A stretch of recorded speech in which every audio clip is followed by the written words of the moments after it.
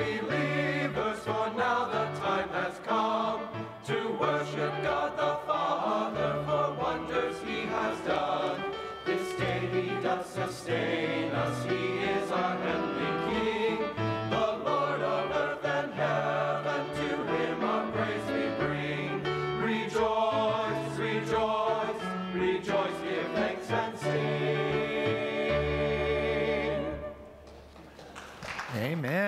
Good morning, Chapel Hill.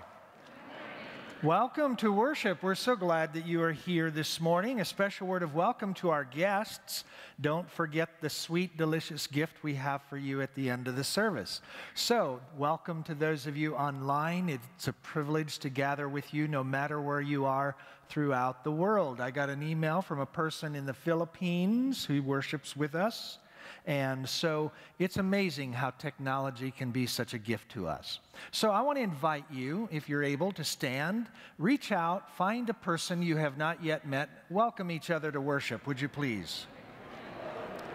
Dr.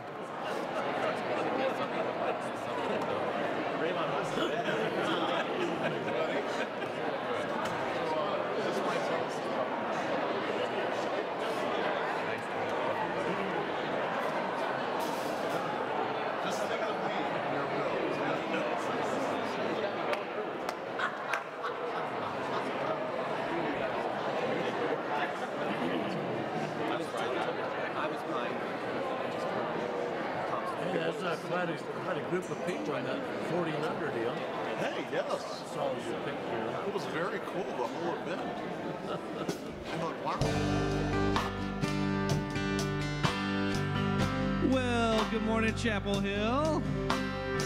It's great to be with you this morning. It's great to be together in the presence of a God whose grace and love is here for each and every one of us. No matter where we are or where we've been, God's arms are open wide this morning. So let's lift up our voices together and give thanks for all that God has done. Let's sing together.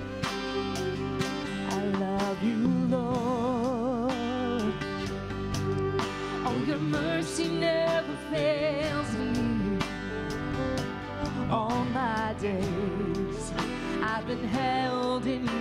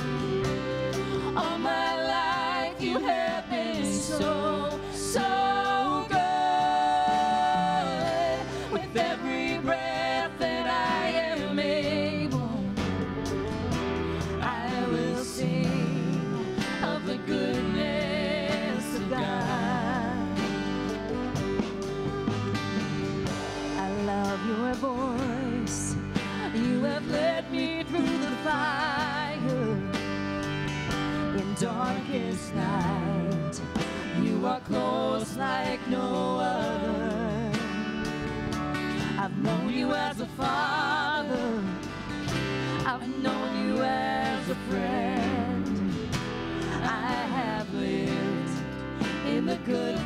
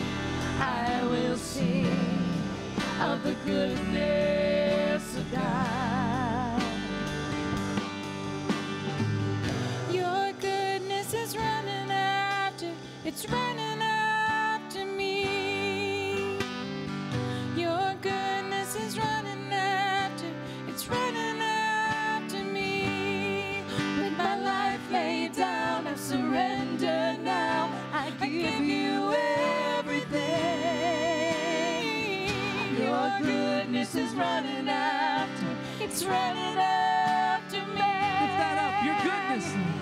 Your goodness is running after,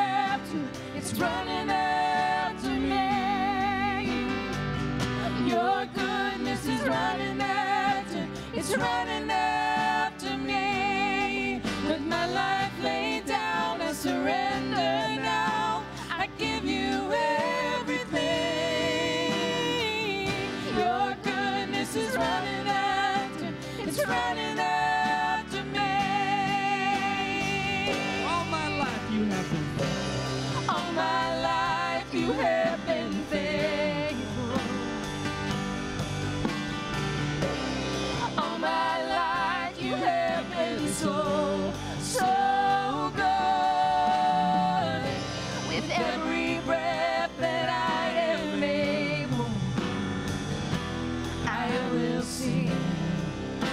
goodness of God.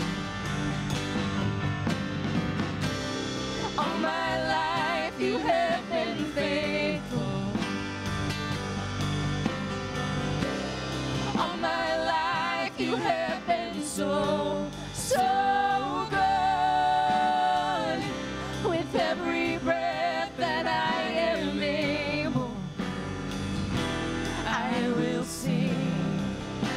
Goodness of God. I will sing of the goodness of God. Oh, I will sing of the goodness of God. God, we are so thankful for all of your love, for the way that you bring us through the fires of life, God. We know that you are always with us at every moment. So this morning, God, we pray that you would enter into this space with us, that you would enter into our hearts, God, that you would change us from the inside, that we would learn to follow you in all that we do. In Jesus' name, we pray. Amen. invite you to remain standing for the hymn.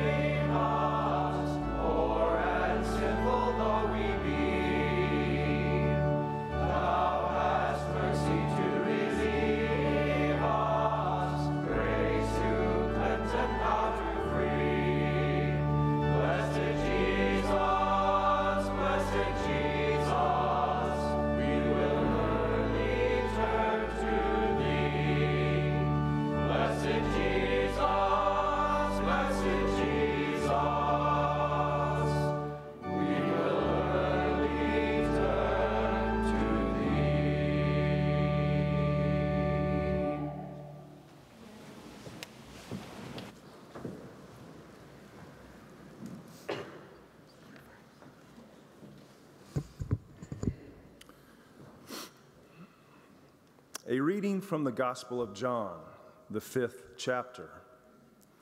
Very truly, I tell you, anyone who does not enter the sheepfold by the gate, but climbs in by another way, is a thief and a bandit. The one who enters by the gate is the shepherd of the sheep. The gatekeeper opens the gate for him, and the sheep hear his voice. He calls his own sheep by name and leads them out. When he has brought out all his own, he goes ahead of them, and the sheep follow him because they know his voice. They will not follow a stranger, but they will run from him because they do not know the voice of strangers. A reading of the 23rd Psalm. The Lord is my shepherd, I shall not want. He makes me lie down in green pastures. He leads me beside still waters. He restores my soul. He leads me in paths for his name's sake. Even though I walk through the darkest valley, I fear no evil. For you are with me, your rod and your staff, they comfort me. You prepare a table before me in the presence of my enemies. You anoint my head with oil, my cup overflows. Surely goodness and mercy shall follow me all the days of my life, and I shall dwell in the house of the Lord my whole life long. The word of God for the people of God. Thanks, be to God.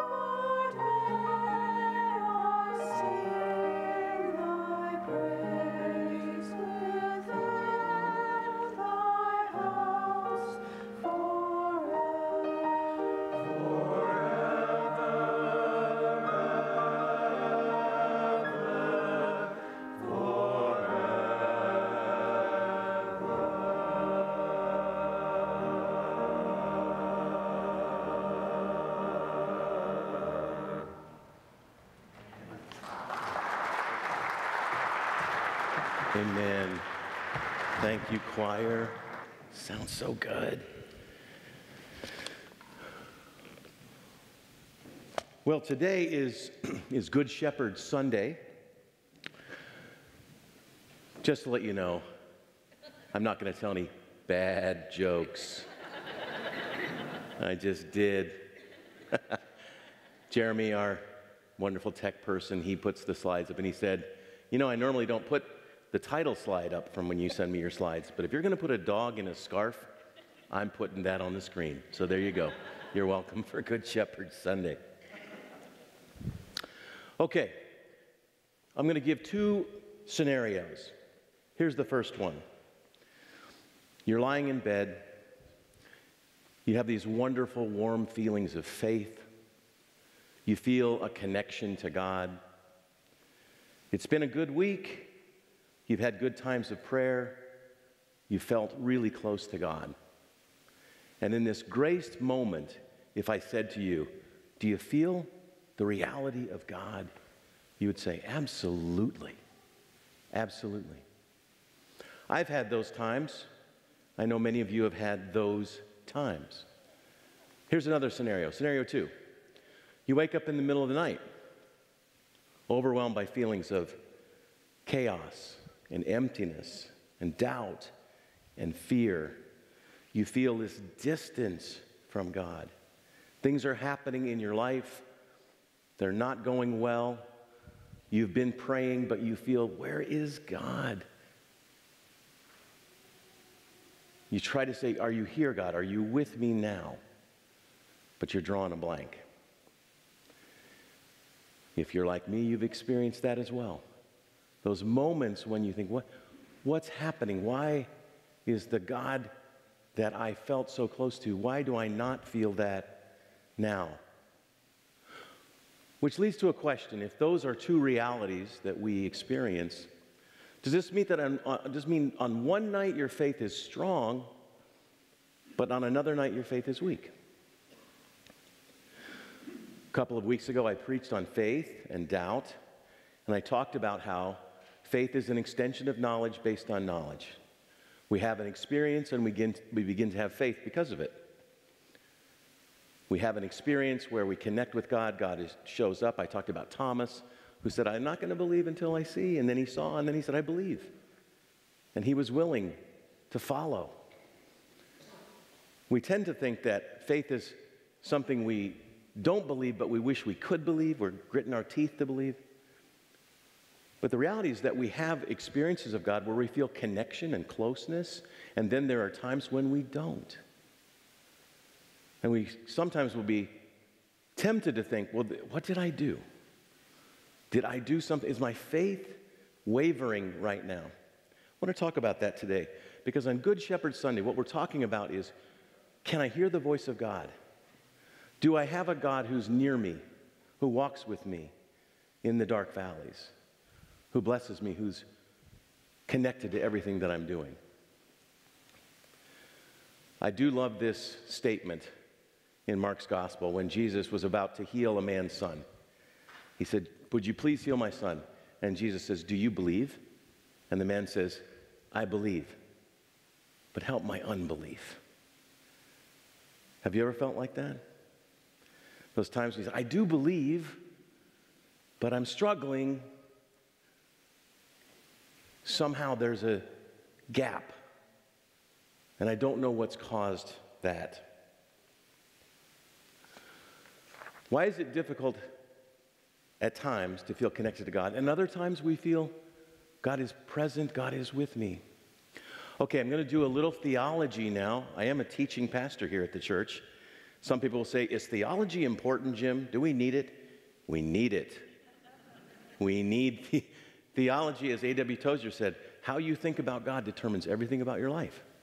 So I'm going to do a little theology 101 basic stuff here because it connects to this idea of feeling connected to God. Okay, first of all, just an obvious statement God is unlike any other person.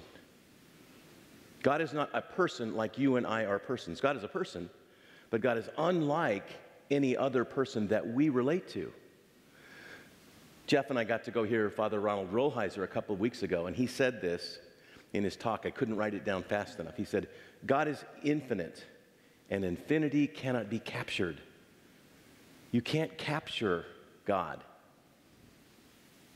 We can have a person and hold them kind of captive, get them cornered and see if we can get a hold of it. You can't do that to God. God is infinite. So, uh, God is not a thing in the universe like other things are things. You can't control that. God is the context in which all things exist. You exist because of God. We're here today because of God. God is the ground of all existence. God is being. You and I have existence. God is existence. And that's a beautiful thing about the nature of God. Because you and I are limited in our existence. I can only be here today. I am here, I have existence. But because God is the ground of his existence, God can be everywhere and is. Do you believe that God is here with us today in this sanctuary? Yeah, yes? Overwhelmingly yes. Do you believe that God is up the street at New, New Spring? Absolutely. Is he across town at Eastminster Presbyterian? Is he way across town with those Quakers at Northridge? He is. He is. Is he in India right now? South Africa? Yes. Someone is struggling right now somewhere across the world. God is there. That's the nature of God, the ground of existence. I love what St. Augustine said God is closer to me than I am to myself. He wrote that in the fourth century. I may feel distant from God, but God is close to me. God is close to you.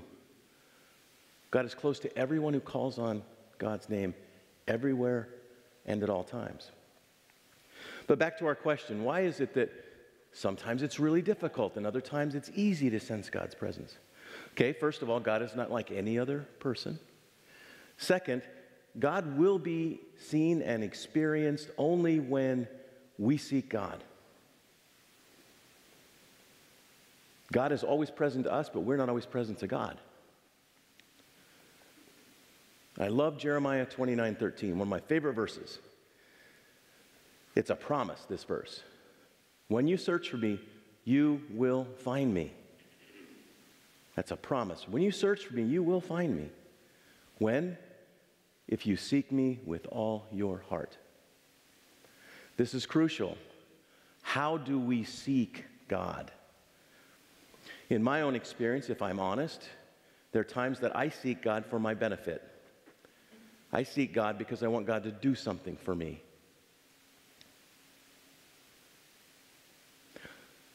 That promise in Jeremiah 29 13 is saying, If you seek me, you'll find me when you seek me with all your heart. Seeking with all your heart means I want you for you, not what you do, but you. That's a huge distinction to know that in your heart. So, those obstacles that we face in communion with God, as a new Christian, I really didn't know much. I, I if you asked me what prayer was, I thought it was just giving your laundry list to God. I got some problems. Hey, God help. Or prayer and connection to God was because of my ambitions. Boy, I hope I get into that school. God help me get into that. Help me get into this program. God help this. Help me get an A. Help me get in, whatever. I wanted God to fulfill the things I wanted fulfilled in my life. Those are common. And God's big enough to take those. When we go to Him with just our problems, He doesn't go, Oh, you. He goes, Well, that's where you are right now. But if that's why you seek God, you're not seeking God, you're seeking the things God will provide. I was really blessed to have two people in my life, two mentors. As a new Christian, I came to Friends University. I took a class with a guy named Richard J. Foster. He's the one on the left. He'd written a book called Celebration of Discipline. It became a worldwide phenomenon, teaching people how to connect to God through meditation and prayer and solitude and silence. And I learned how to be with God through him. And then through Richard, I met Dallas Willard. Dallas wrote Spirit of the Disciplines, and he taught the same kind of thing. And I got to spend a lot of time with both of these spiritual giants. And people say, wow, how blessed you are that you got to do that. What is the, what is the one thing, the main thing that you learned from them? These were two men who knew how to be with God. Not for what God would do, just to be with God. I watched them do it. I knew that Richard didn't know just things about God, he knew God. I watched Dallas. I watched how he moved, how he brought God into everything that he did. I got to see those models, and that helped me move into a different direction. I learned the practice of the disciplines, disciplines for the spiritual life, things like prayer. I said to Dallas, what, what, what is prayer? He goes, Well, James, it's simple. Prayer is talking to God about what we're doing together. That's how familiar he was with God. He just, well, God, we've got this thing to do. Let's do it together. I invite you to be a part of that. Worship, giving glory to God, ascribing worth to God. Why are we here today? We're here to worship God, to give glory to God. Because God deserves that. God is worthy of our praise. And we're here gathered to offer that. That's what we do as believers. Study, deep study of the scriptures and of the classics. I watched these two men do that. Dallas and I, we would teach sometimes for two weeks together in some place. Sometimes we'd have the same living quarters. I would see him late at night studying the scriptures. I'd see him early in the morning studying the scriptures. I'm going, You know the whole Bible. what are you doing? He was like, Well, I'm just connecting to the Lord, learning new things. Holy leisure, that's one of the most difficult practices. It's simply to do nothing for God's sake. You've got to be careful how you say that. Do nothing, pause, for God's sake. Just be. It's a difficult discipline, but you practice it and you learn I can just be with God. I don't have to be doing anything, I don't have to be accomplishing anything because God is not found in doing, God is found in being. And you learn these things as you're learning to be with God. One of the things that Ronald Rolheiser said in that talk that we watched, Jeff, he said so many good things, didn't he? But he said this one. He said, God does not appear at the end of an equation, God appears at the end of a way of life. It's not an equation to be figured out, a philosophical conundrum. There's a way of living that if we engage in it, God is there. That's when God appears. And Father Ron said, Someone said to him, All these practices that you do, aren't they just going through the motions? And he said, Yes, but the motions are everything. The motions are everything. Today, you may have felt coming to church that you were just going through the motions, doing what you do. It's another Sunday. This is what we do. We just go. Hallelujah. God is in the motions, God is in these practices. He meets us in these places. And it's a beautiful, beautiful thing. When I was in my second year of seminary, I, I experienced incredible dryness. My life with God, even though I'd learned from Richard in Dallas, and I had private practices, lengthy times of prayer, I was studying about God. I wasn't being with God. And so a friend of mine said during spring break, Hey, I'm going to go to this Episcopal monastery for a five day silent retreat. You want to go? Normally, five days of silence, eating carrots with monks, would not be a draw. But I went, I'm at the end of some sort of rope here. I'm going. So I went. And I was assigned a spiritual director. I was very excited. I wanted my spiritual director, you know, you, when you think of a monk, I wanted a guy with a beard, serious beard, blue eyes, peer into my soul, tell me what's wrong. I got this young guy who was a jogger. He had jogging clothes beneath his cowl. He literally wore Nike Cortezes. I'm wearing them today in honor of Brother Madden. And so I went to him and I said, Man, I just feel disconnected from God. He said, Well, here's a passage, meditate on it. I was like, Okay. I got a lot of time on my hands, brother. One passage? He goes, Yeah. So I meditated on this passage for a day Went back the next day for spiritual direction. What happened? I don't know. I think I've figured out what this passage is about. Let me tell you my great exegesis. Do you want to hear it? He goes, No. He said, Did you, did you sense God was in the text? Mm, no. Okay, go back again. Same text, same text. Went back again. Same thing. Day three, more carrots, more monks, more silence. Day three, how'd it go? I don't know. It's a birth narrative. It's Mary and the angel. I don't know. Why, Father, why am I doing this? You know, he said, Jim, connecting with God is like falling asleep. He said, Have you ever tried to fall asleep? I said, Yeah. He said, Does it work? I said, No. He said, You create conditions and then you fall asleep. Same thing with God. Create conditions and then God will be there. I said, What are the conditions? He says, You have to surrender. So by the fourth day, I went, I'm stuck here. I opened up the Bible. I looked at that passage. I started reading it. And I said, God, show up, please. I'm here. I got nothing. I'm training for minutes. I don't know what I'm doing. I don't know why I'm here. And guess what? God showed up. That scripture came alive like I'd never seen it before. And for the next 48 hours, I felt as connected to God as I've ever felt in my life. You create the conditions, you go through the motions, you do the things, but you have to surrender in order to experience that connection with God. Our passages for today, John 10 and Psalm 23, that Trev and Ev read, are so beautiful. In John 10, Jesus is explaining, I am the good shepherd.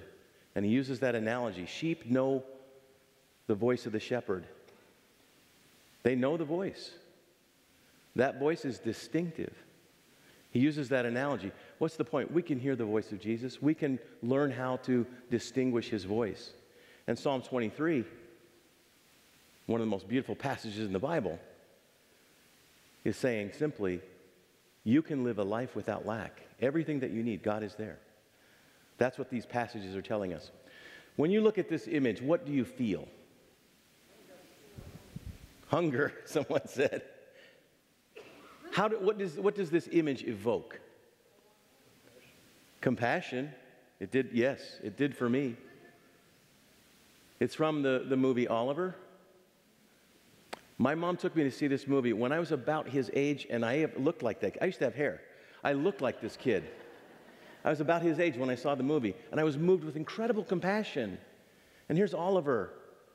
He's been orphaned. He's in this place, and he's got his bowl, he get this meager portion. And he goes back, and please, sir, can I have some more? And remember what the guy says? More? You dare to ask for more? I think we think of God that way. That if we come to God and we say, Can I have? He's going to go, What? That's not our God. We have a God who wants us to have a full portion, more than we can ever experience. Dallas put it this way We're blessed to live in a world where there's a generous God who wants to provide what is best for us and loves us more than we could ever imagine.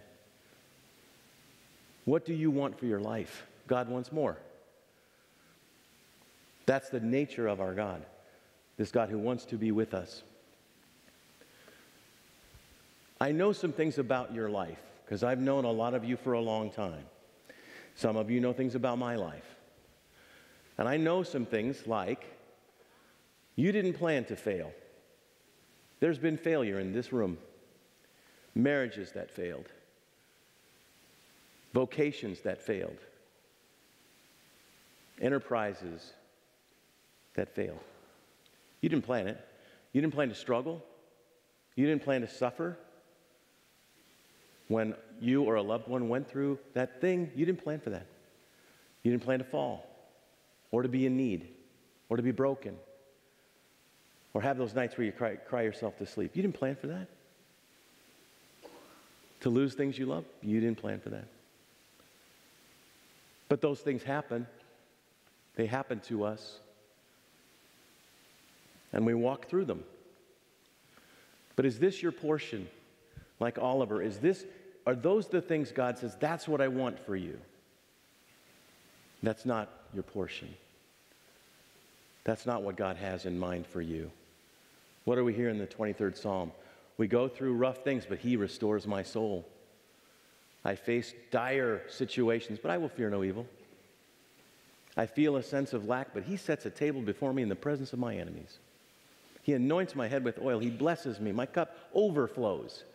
How about that? Oliver's bowl overflowing. That is your portion.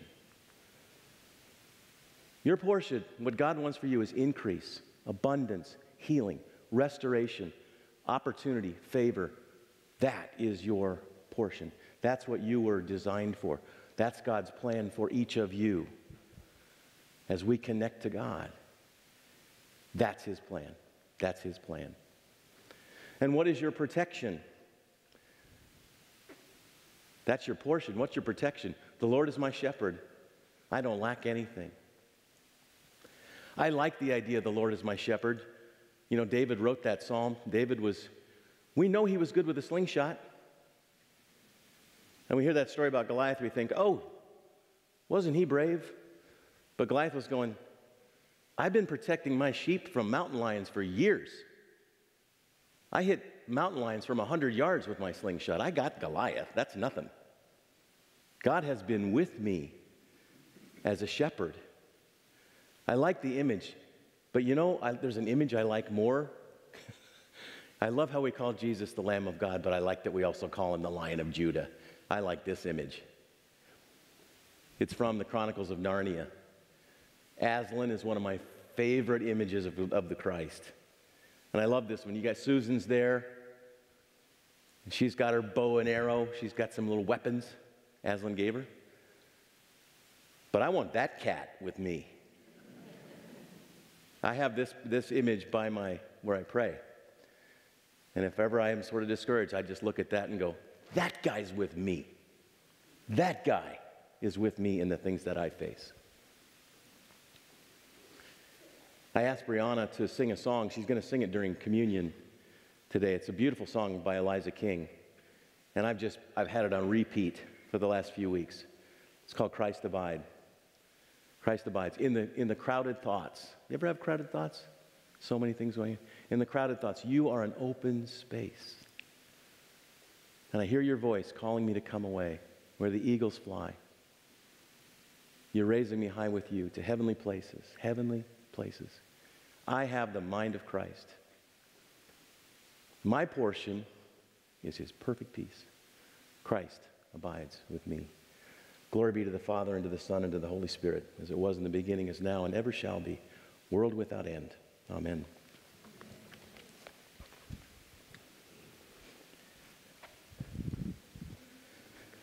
Good words.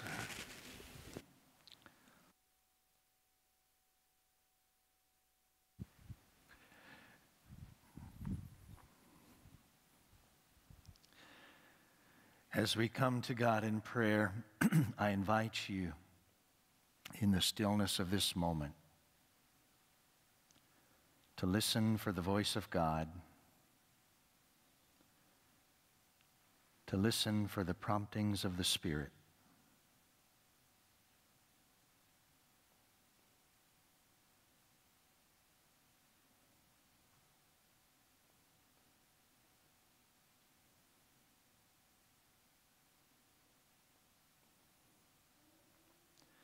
We give thanks and praise, O Lord our God, that you are our portion, that you are our protection, that you are the Lamb of God and the Lion of Judah, that you are the good and tender shepherd, that you and you alone are everything we need.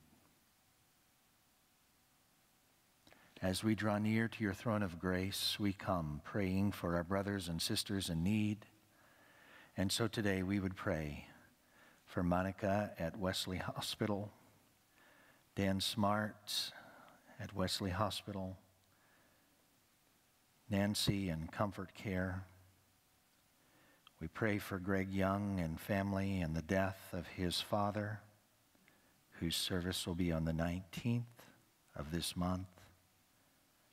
We pray for Pam Sharp, Caleb Herndon, Pam Kirk, Rosa Wilson, Bill Phillips, Sherry Wilson, Bill Herndon. Oh God, I invite you to minister. I plead with you to minister to each of these, to all of these, with your healing grace, with your comforting love, with your sustaining strength. And now I invite you in silence to name those for whom you would like to pray today. Name the burden and lift it to the Lord of grace.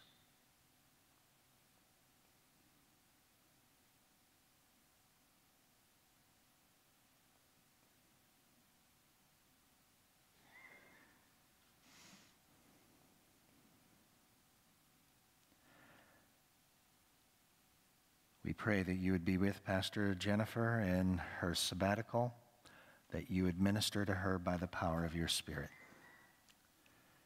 We pray, O oh God, for our world, our nation, our state, our city. We pray for all who lead us. And now, O oh God, we pray that you would use our hands throughout this week for your glory. That every person that we encounter that we would be your instruments, your channels of peace and grace. We give thanks for all the blessings of this day as we entrust, entrust our lives, our ministry here at Chapel Hill to you and pray that you would have your way. For you are the potter and we are the clay. We offer this prayer in the name of Jesus, who is Lord forever and ever. Amen. I want to invite the ushers to wait upon us and receive the morning offering. And if you haven't already done so, would you take the black connection folder, please, and pass it across? We want to know how we can pray with you and for you.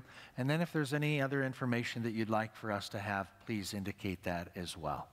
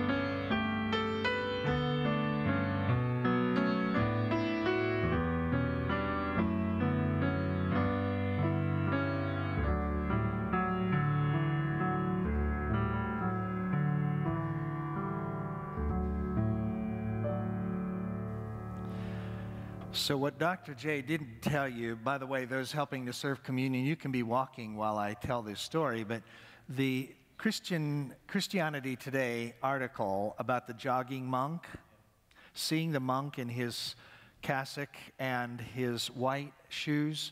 So, we got to get that article for people because that's a great article that appeared. What year was that? 1991? Wow. So, thank you for serving servers. Let's give them a round of applause. We never say thank you to them, and we're very grateful. So that my prayer might be our prayer, we join in this ancient prayer called the Great Thanksgiving. I'll give direction as to how we take communion here in just a moment. But as Dr. J said, we're going through the motion of this sacred meal, and your mind may be a million miles away, but it's okay because you're going through the motion, and God is with us. So pray with me, would you please? The Lord be with you. Lift up your hearts. Let us give thanks to the Lord our God.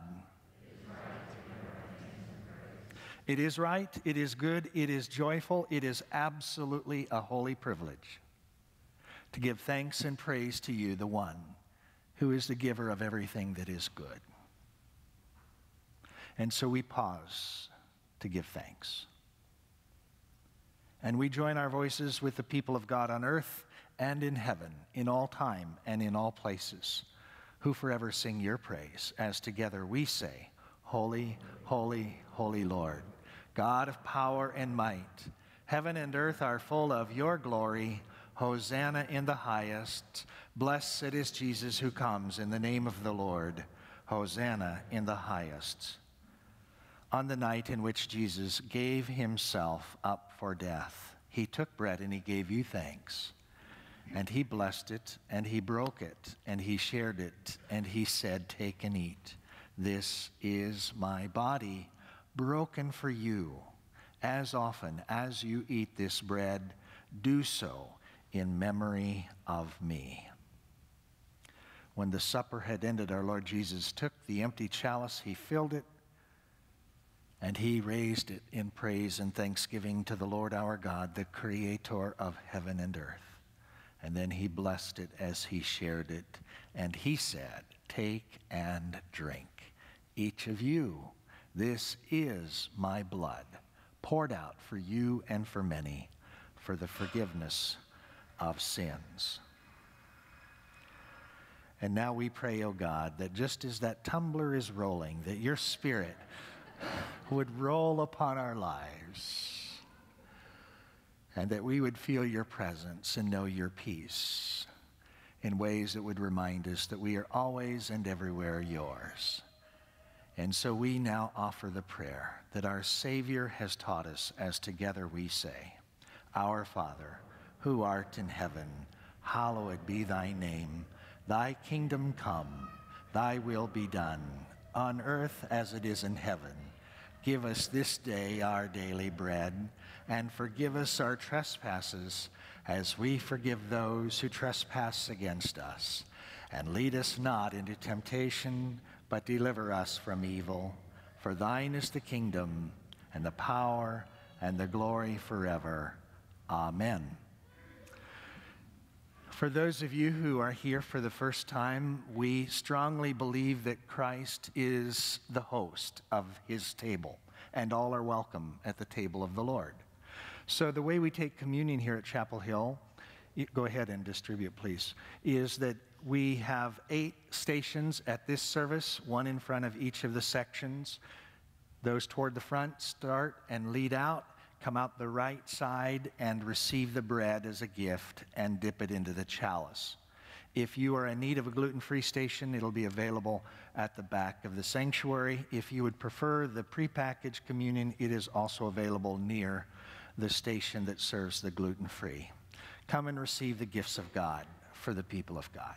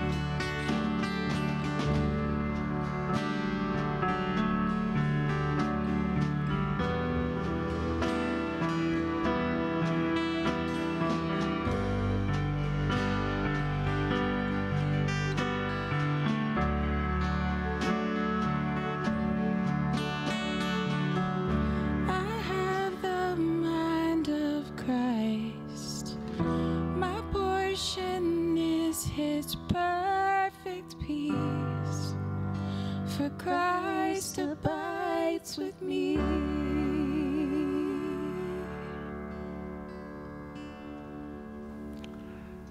Amen. It's a beautiful song. So, BYF, Best Years Fellowship, is those who are 50 and above or those who would like to be, which means that you're welcome to join them on Wednesday, 10 to 11:30, at a free docent-led tour of the permanent displays at the Wichita Art Museum. Now, you can go to the art museum for free anytime, but you can't always get a docent-led tour. So, that's this Wednesday, and just show up at the entryway of the Wichita Art Museum. And while you're there, go eat lunch. They have a tremendous lunch there. Am I the only one who thinks that? Do you not care about lunch?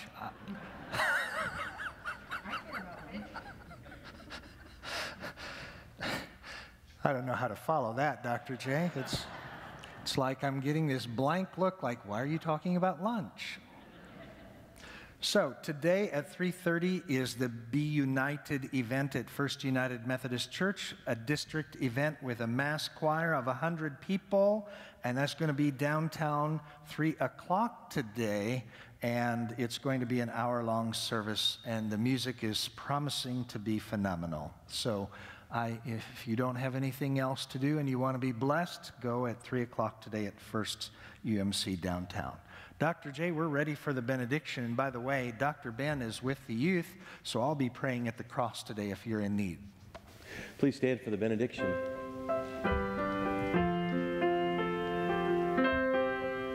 Go forth, knowing that the Good Shepherd is with you. In the dark valleys, in the mountaintops, God is with you. In the name of the Father, the Son, and the Holy Spirit. Amen.